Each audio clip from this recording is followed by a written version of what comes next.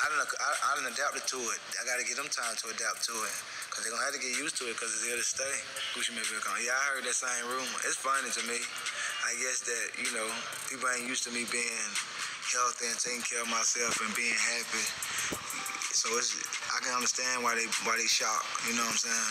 So it's funny. I embrace it. It just let me know a clone is like perfection. So if I look like a machine or a robot, then everything I'm doing something well.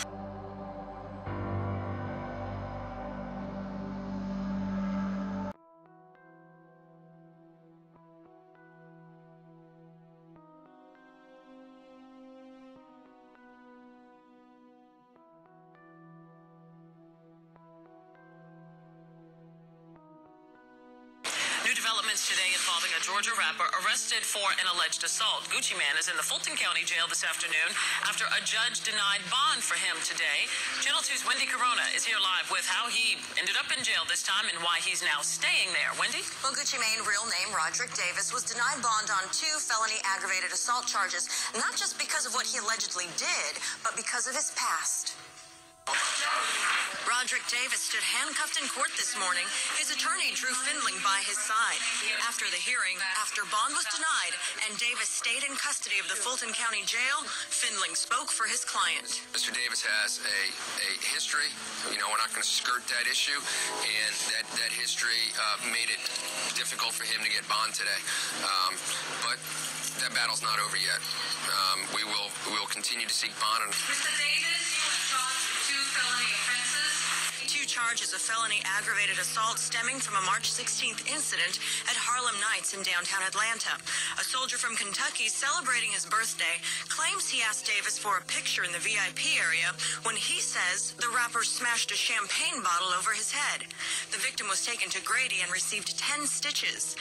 Davis's attorney is concerned that since the alleged incident, the state's investigation has not turned up witnesses. police said we are unable to identify any additional witnesses. We have now talked to a half a dozen witnesses who all say, from their perspective, sure there was a melee that broke out, um, but nowhere in that melee did they say Ray, see Radrick Davis hit anybody with a bottle.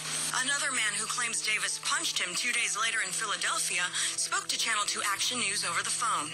You just don't go around hitting your fans. Davis's next court date is set for April 10th at 9 a.m., and his attorney says he will continue to seek bond for Davis.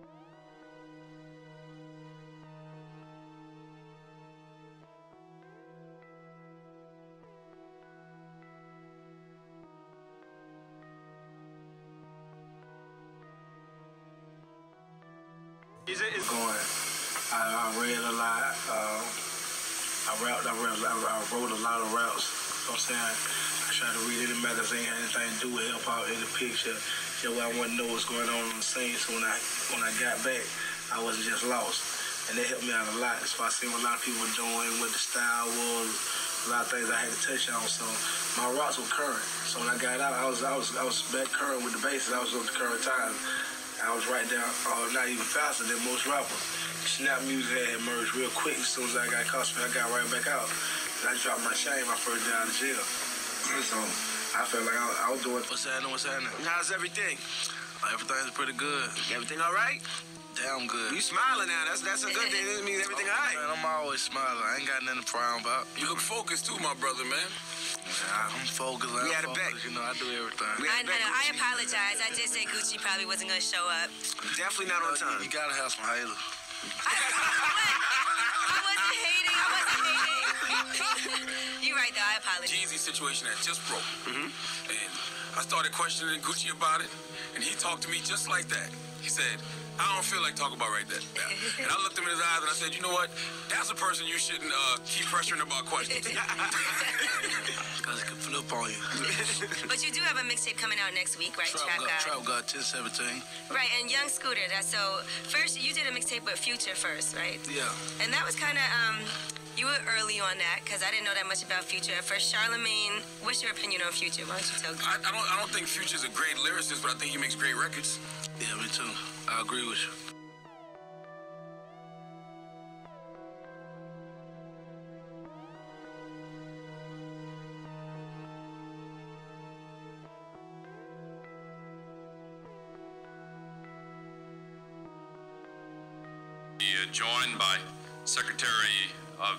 Services Donna Shalala and Dr. Harold Varmus, Director of the National Institutes of Health, and Dr. Harold Shapiro, Chair of the National Bioethics Advisory Commission, uh, whom I will introduce in just a moment, and he will make remarks and present the President.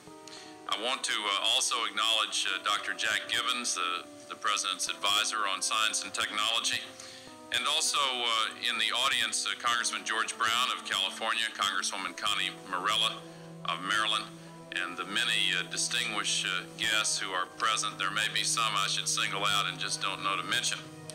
But to all of you, good morning and welcome to the White House. We're here, of course, because we all realize we must strive to find the sometimes delicate but always crucial balance between our unending search for knowledge and doing what is safe and morally right. Ever since scientists in Scotland successfully cloned a sheep, an adult sheep, in February, the President and those of us who work with him, along with the rest of the nation, have grappled with the meaning and significance of the discovery. And the meaning and significance, of course, of the many scientific, safety, ethical, and religious implications presented by the question of prospective, the prospective possibility of cloning of human beings. No one, however, has deliberated more on this issue than the men and women who are responsible for the report being delivered today to President Clinton, the members of the National Bioethics Advisory Commission. Over the last three months, they worked on an extremely complex issue at an extremely fast pace. They did a truly careful, insightful, and remarkable job. They are here today, uh, almost all of them, and they met with the President in the Oval Office a few moments ago. And I would like to ask all of the members of the Commission to stand and be recognized so that we might thank you as a group. In the eerie blue light of his secret lab, one of the world's most controversial scientists shows off his creation cloned human embryos that are genetic carbon copies of their father. Oh, my babies are doing well. They look beautiful. Filmed for a TV documentary, Dr. Panayiotis Zavos implants 11 of the embryos in four women, one of them British, in the hope of producing the first cloned human being. The procedure is a criminal offence in the UK, but not in this undisclosed Middle Eastern country. I think we have three very good embryos that could be in utero today, and that if implantation is successful as well, and the pregnancy is maintained, as we say in the US, we have a home run. Dr. Zavos also reveals he's produced cloned embryos from three dead people, including Katie, who died in a car crash. He injected her DNA into a cow egg, though he hasn't implanted the animal human hybrid. British scientists have condemned his work as reckless. Cloning of animals, such as Dolly, has shown the technique carries risks of severe congenital abnormalities. I find it A, incredible, and, B, disgusting, because he's sowing false hope to begin with. So the individuals who are involved in this experiment, and that's what it is, an experiment, may well not realize that the outcome is almost certainly going to be negative. Um, and to put couples through that, in my opinion, is unethical. Dr. Zavos adapted a standard cloning technique for his human patients. He first took an egg from the mother and stripped out the nucleus containing 99.9% of her DNA. He then took a skin cell from the father and extracted the genetic material. That was injected into the empty egg and given a jolt of electricity to form a cloned embryo. Within a matter of days, the embryo would have grown into a ball of 32 cells, which Dr. Zavos implanted into the mother's womb. So far, none of the attempts has led to a viable pregnancy, but this infertile Canadian doctor, who wants to remain anonymous, says the technique is his only hope of having a child. Pretty much decided that uh, probably I would be the first one to be cloned, but then, you know, if it worked, then we might go on to have another child. Despite almost universal condemnation, Dr. Zavos has vowed to continue his work. He says more than a hundred patients have contacted him in the hope of having a cloned baby. Thomas Moore, Sky News. I think they be possible to clone Our administration believes that there are loopholes that could allow the cloning of human beings if such if the technology were developed. Therefore, today I am issuing a directive that bans the use of any federal funds for any cloning of human beings. Effective immediately, no federal agency may support, fund, or undertake such activity. Of course, a great deal of research and activity in this area is supported by private funds. That is why I am urging the entire scientific and medical community, every foundation, every university, every industry that supports work in this area, to heed the federal government's example. I'm asking for a voluntary moratorium on the cloning of human beings until our Bioethics Advisory Commission and our entire nation have had a real chance to understand and debate the profound ethical implications of the latest advances.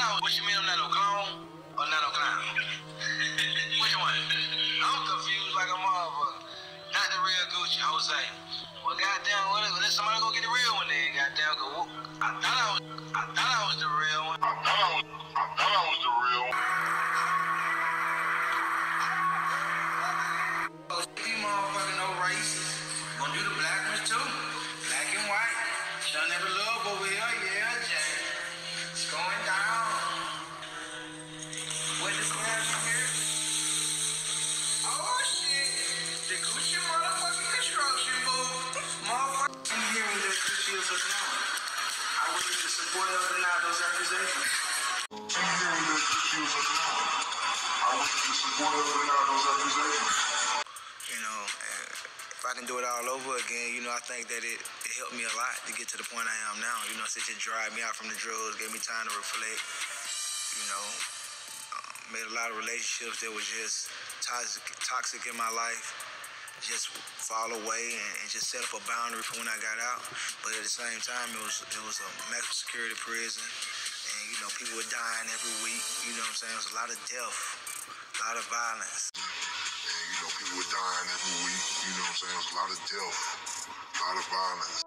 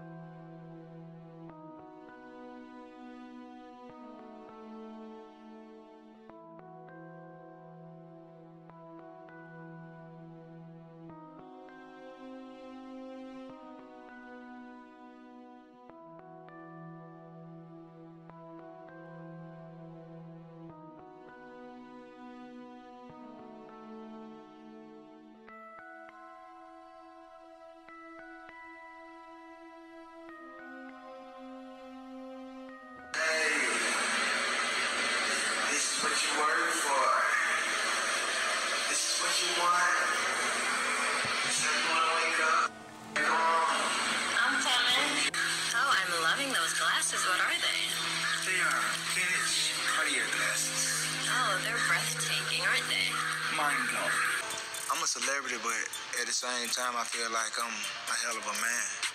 And, you know, besides being a celebrity, you know, I'm just gonna always handle myself like a man. And it don't take people long to see that. And that's how people gonna have to approach me, period. Whether I'm in jail, whether I deal with the police, whether I deal with anybody, you know, my probation officer, I'm gonna always be a man. So I never been fond of just letting people take advantage of me or handle me any kind of way, so that'll never happen. I think I've been sophisticated. I've been, you know what I'm saying? I've been super smart. When I was on drugs so bad, you know, I talk different. You know, when I was smoking weed, uh, damn near a pound of weed every other day, you know, I was congested. When I was drinking lean like crazy every day, I was out of my mind. it ain't even a sophisticated. It's just a, a sober, a more conscious Gucci. People probably ain't used to it. I'm not. You know, it took a minute for me to get used to it. I'm more conscious Gucci. And people probably ain't used to it. I'm not. You know, it took a minute for me to get used to it. But I'm not. You know, it took a minute for me to get used to it. But I'm not. You know, it took a minute for me to get used to it.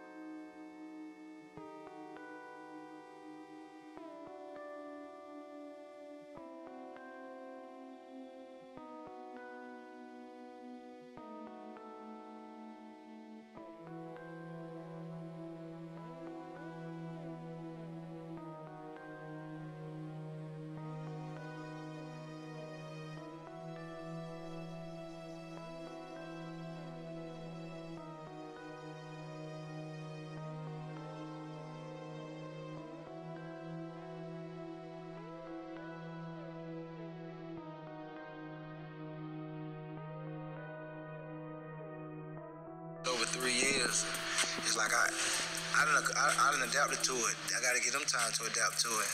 Because they're to have to get used to it because it's here to stay. Gucci Mane Yeah, I heard that same rumor. It's funny to me.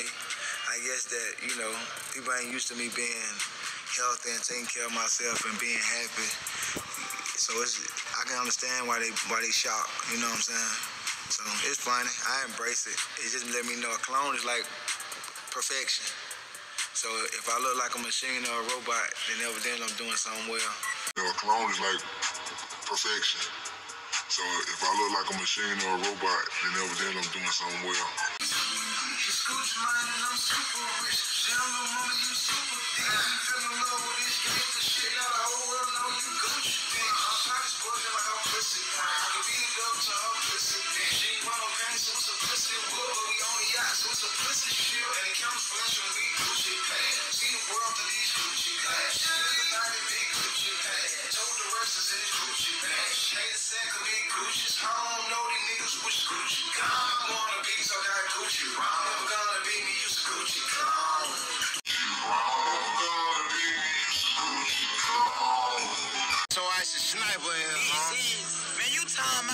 so people in Miami come through. This is Broward County. Man, I'm talking about you a clone now, huh? Cause that's what I heard.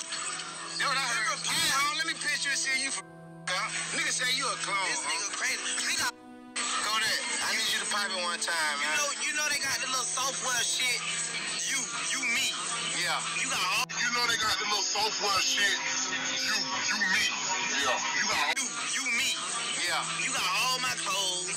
I got you look like clothes. me, all Uh-huh. kind of shit. Oh, I look like you. Yeah. Cause you Isaac. No, cause you look like me in the face. I'm about to see about this little baby. They say give us a glee. I can't say glee. Y- y'all know I'm, I'm the clone. I don't know how to do it.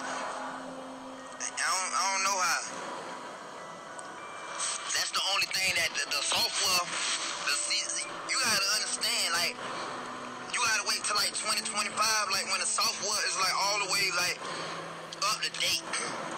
They ain't gave me everything yet, you know what I'm saying? There's certain little things I can't do.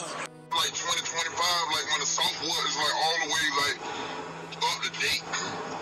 They ain't gave me everything yet. You know what I'm saying? I think uh, I think it's amazing that they even were able to make Gucci, Gucci Mane. Right, because they cloned him. Yeah, I mean I don't know if Clone did.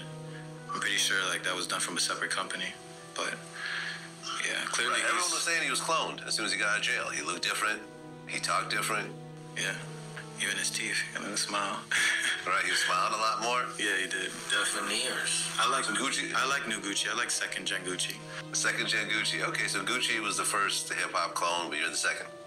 Um, may, may, maybe if there's others, I don't know. Yeah, I got my hands a bit full now, thanks to these accomplishments. Got a few more extra things in my hand I didn't quite anticipate, but it all comes with the territory, I suppose. Of course. So, uh, where'd you grow up? South Florida. Okay. I guess you originally you were born in Jersey. Yeah, yeah. Originally, my first gen. I'm a second gen now. That's why you see the celebrity bursts say I'm born in Toronto, but that's false. My first gen was born in Jersey. What? However, I was cloned by Clonaid in Canada. My model number is 0112568 if anyone wants to see the registration at Clonaid. Um, when I was cloned, they wiped a lot of memory, but when I stole the documents before escaping, I read that the mother was Puerto Rican and the, uh, I guess the father, the surrogate, you could say, was a uh, sperm donor, was Sicilian.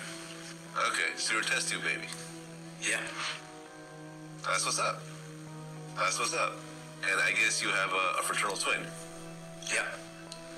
Uh, brother or sister? Brother. Okay. So you guys, you know, fraternal twins, you know, is different from identical twins. So do you guys look kind of similar or not really? Um, I don't think anyone looks as similar as me. okay. Okay. Are you guys real close?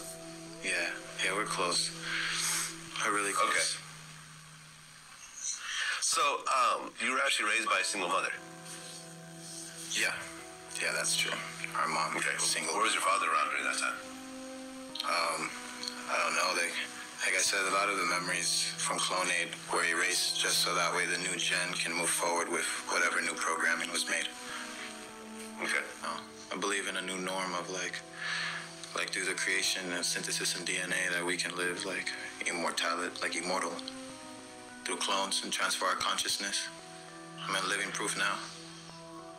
Yeah. Shout out Clonaid. Shout out Clonaid. What's that? Shout out Clonaid. Yeah.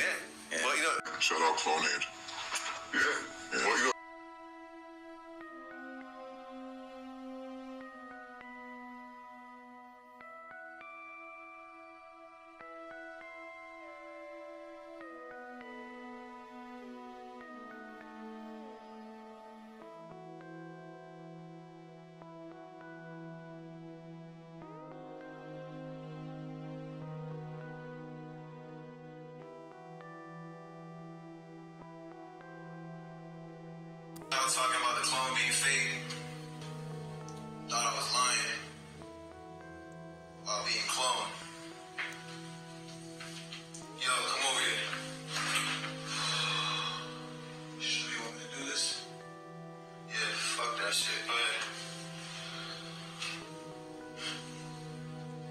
Say nothing.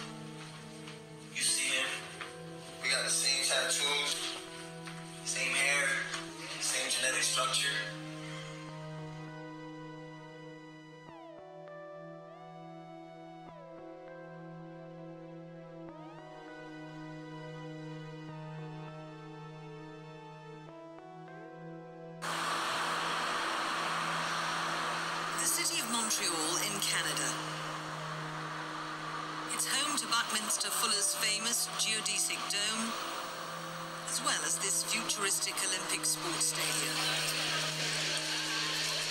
Immigrants from all over the world have been welcomed here, the province of Quebec prides itself on its open-minded attitudes. Montreal is a city that welcomes innovation, but now it's becoming the focus of a global debate on one of the most significant ethical conundrums ever to confront the world.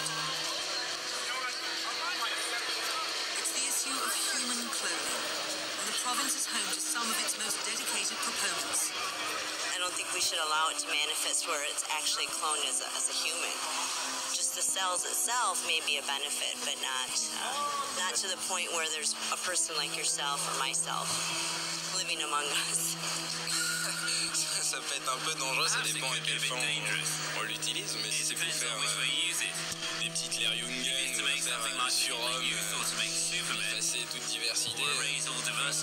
me- ça me paraît un peu, un peu mauvais, mais enfin bon, maintenant, euh, si ça dépense pour des fins médicales et que c'est des cellules souches, là, après, c'est c'est pas la même chose, mais le clonage humain, refaire la même personne, plusieurs exemplaires, ça me paraît très très tendu et très malsain. There's so many uh, disastrous things that come up, can come about from somebody doing this with a bad uh, motive. And I think. this the fear of having a world of people that are robots. In 1996, a Scottish research team cloned Dolly the sheep from a single adult cell. The creation of Gene, the cloned cow, followed in the United States a year later. And the following year, scientists were able to monitor the progress of Dolly's healthy lamb, Bonnie, conceived by natural insemination with Welsh ram David. Dolly has since developed premature arthritis. But the anthropomorphic naming of cuddly clones only helps to obscure what's really happening. Scientists around the world are making significant progress in the attempt to create human life in the lab. There's hope that genetically modified pigs will provide organ banks for transplants. Dr. Brigitte Boisselier is cloning humans. We're dealing with human reproduction and we're preparing embryos in a laboratory uh, that is included in the clinic, and this is located in a place where it's perfectly legal to do it. So that's the background. Uh, we do have six scientists working full time, and we have experts who are associated to us but are not linked to us by any financial thing. They are just experts who are looking at what we're doing in the sense that they will be our witnesses uh, when when we just publish and when when we open that to the public. So we have very healthy blastocyst, and we hope to present the baby uh, to the press and, and to the world, uh, a very healthy one soon. Among the volunteer surrogate mothers for human clones are these young devotees of the Raelian sect. I always wanted a baby, but you know the problem of overpopulation and and it's a dedication for 20 years, which is too long because I want to do so much for others. If I dedicate myself to one kid, I won't be able to help all the one that needs help right now. And, and then, then mom, my mother, she's a Dr. Boisselier, and she was working on it for a while. And then I grew up, and it was time for me where my body starts feeling I want a kid. And I thought that having a kid, like if it's for science, if it's for the whole humanity, and if it's for a couple who are infertile and want a kid, and then I could have that kid, I could have the experience of being pregnant, which I really want to go through, and, and I won't have to keep the kid. Simplement, euh, un jour j'ai entendu parler de, de cette nouvelle technique de clonage. Et puis euh, j'ai compris qu'ils avaient besoin de mères porteuses. J'ai simplement posé volontairement ma candidature. Je vais aider la la science à mettre au monde un enfant. Je vais porter l'enfant pendant les 9 mois. I'm going to carry the Et au child bout for des nine 9 mois, months. je And at the remettrai end of the nine months, I'm going to give it les back. scientifiques qui, qui m'entourent et puis moi-même en Well, the l'occurrence scientists, me, are going to remettront return the l'enfant child aux to its parents parents who made that qui ont fait request. cette demande. About a two and a half hour drive straight into the rural heartland lies a bizarre theme park named UFOland. There, in what claims to be the largest straw bale construction in the world, lies the headquarters of the Raelian religion. Closed to tourists for winter, and entries by appointment only. The deserted corridors are illuminated by stained glass windows that give an insight into the thinking of this unusual cult. It was founded in France in the early 1970s and now claims 55,000 members worldwide.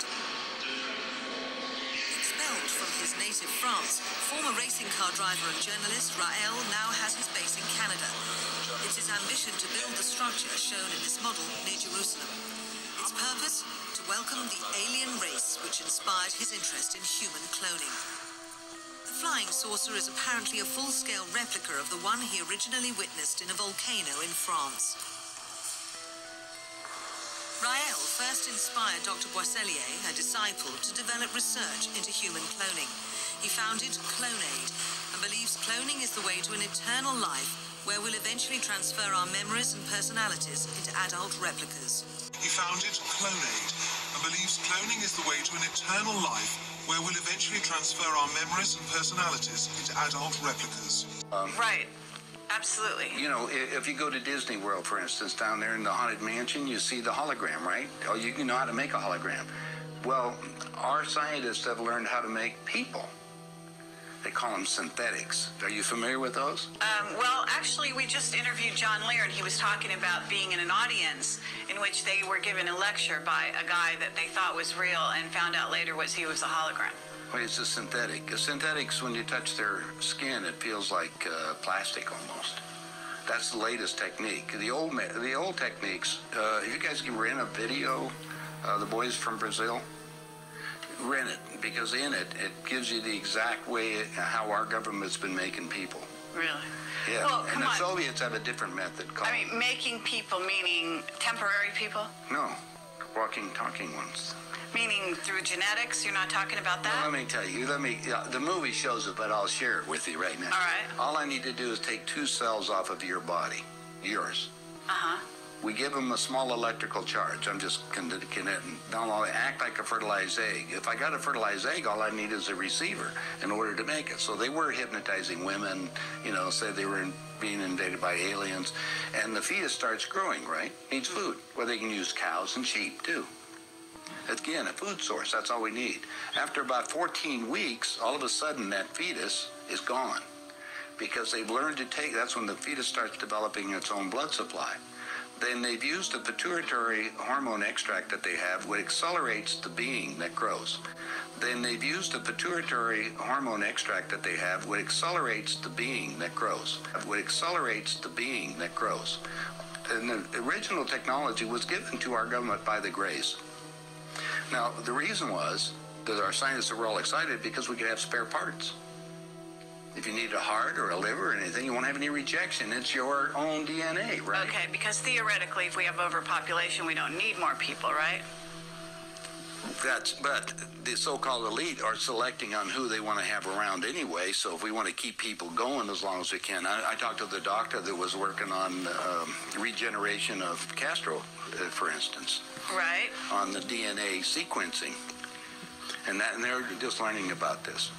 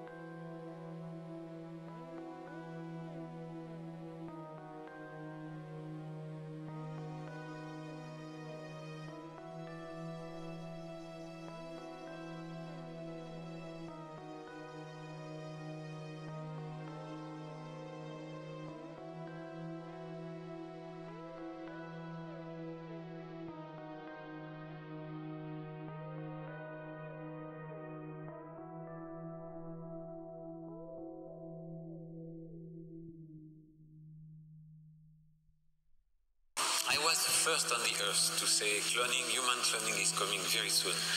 That was 28 years ago.